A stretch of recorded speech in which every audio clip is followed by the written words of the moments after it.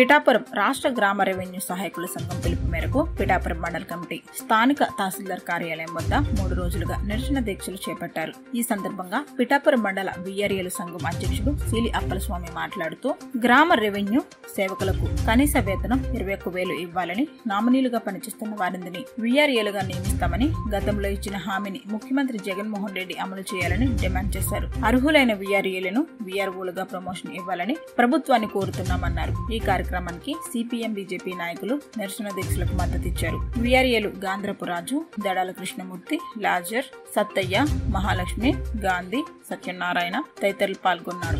ప్రతిఫలాలు తక్కువ ఏటనగా ఒకటే జీతం పెంపు ఒకటే. రెండు మాకు నామినీ పోస్టుల కోసం చాలా చాలామంది మంచాల మీద ఉన్నారు. వాళ్ళు తిరగలేకపోతున్నారు వాళ్ళ వంతు కొడుకులు కూతుళ్ళు చేస్తున్నారు. వాళ్ళకి పోస్టులు కూడా ఏర్పాట్లు చేయలేము మేము రెండో కోరికండి.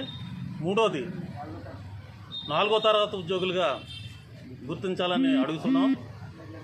అలాగనే ఐదోది నాలుగోది బియ్యాన్ని సుమారుగా మాకు చంద్రబాబు నాయుడు గారు వెళ్ళిపోయే ముందు వంద నుంచి మూడు వందలు చేశానని చెప్పి మాకు జీతం ఇచ్చి ఉన్నారు బియ్యాన్ని కలిపి ఉన్నారు.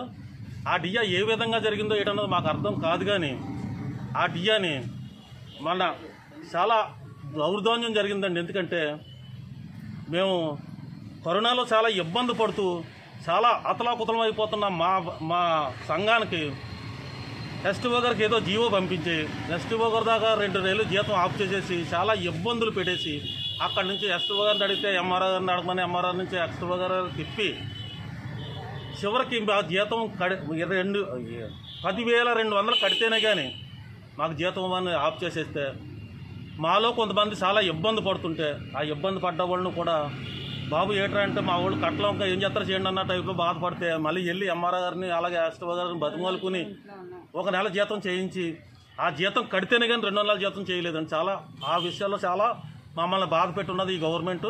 కనుక మాకు ఎటువంటి సమస్యల నుంచి బయటపడేలాగా సక్రమంగా ప్రతి నెల సక్రమంగా జీతం పడేలాగా.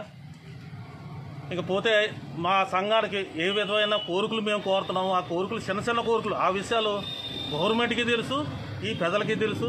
కానీ ఆ ఆ- విషయాల్లో మమ్మల్ని చాలా బాధపడుతుంది కనుక మాకు అటువంటి సమస్యలు లేకుండా సక్రమంగా సవ్యంగా మమ్మల్ని సంతోషంగా జరిగేలాగా ఏర్పరచమని ఈ గవర్నమెంట్ వారు మేము అడుగుతూ మేము డిమాండ్ చేస్తూ మేము సెలవు తీసుకుంటున్నాను